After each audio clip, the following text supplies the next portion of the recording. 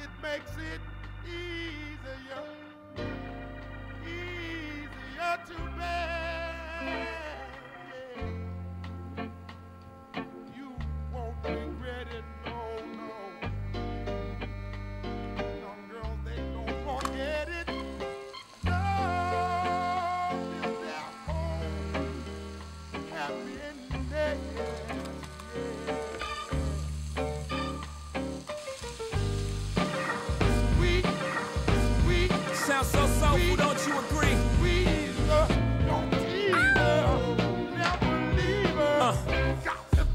I invented sweat. Popping bottles, putting supermodels in the cab.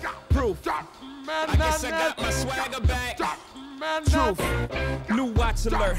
Man, New now, blows. Guess who's Or the big It's face your boy, rollie, I got two of those. the Um, Cock out the in the kitchen, and today I'm doing my famous. Oh yes, they love it. The people can't get enough of the Cajun shrimp pasta, full of flavor, full of just deliciousness, man. I mean, I keep things simple, but I, I, I use fresh ingredients. That's the key to good cooking.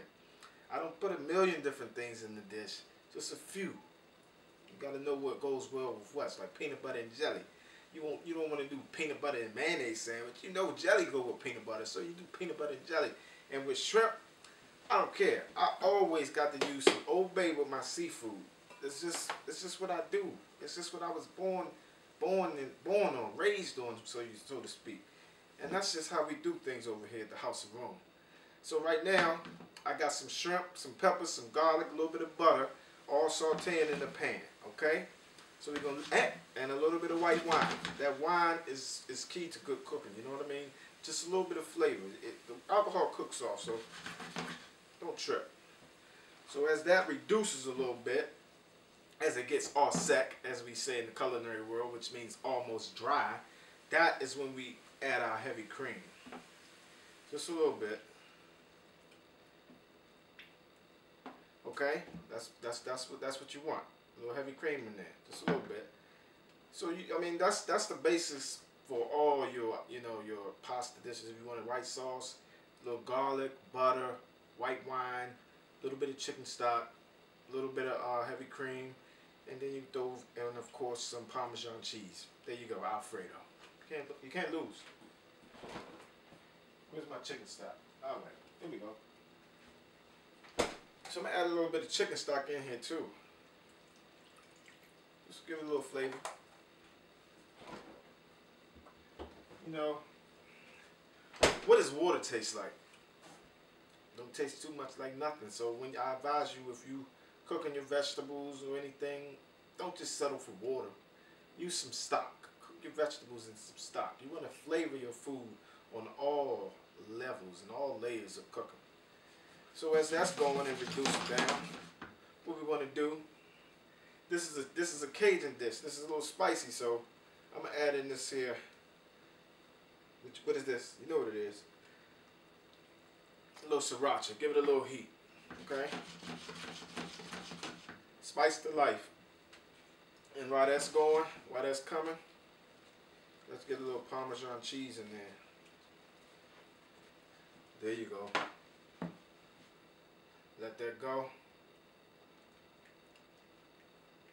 Nice. Coming along nice. And then what I like to do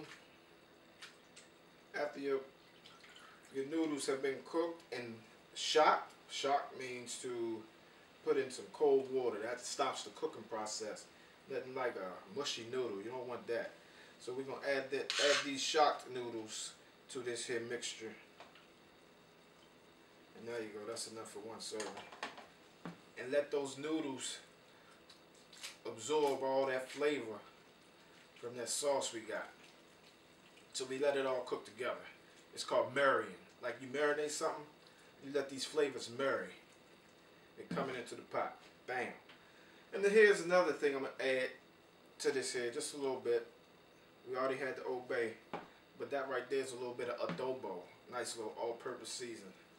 Gives it a nice balance. There you go. That's what I'm talking about. Looking good.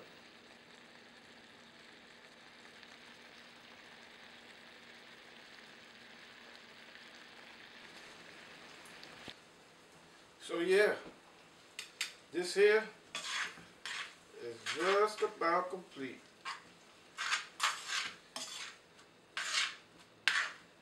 Nice.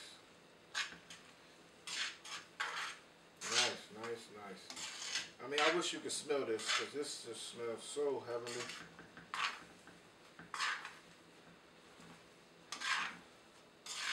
I don't recommend you eat this every day. Now, this is, a, this is what you want to call a, a cheap treat dish, you know, because you got a lot of starch involved, a little cream in there. You know, if, you, if you're more health conscious, you really wouldn't want to eat this dish daily. Once a week, you can get a little bit of pasta in. Not too much carbs. But always, you got to have some green stuff on your plate.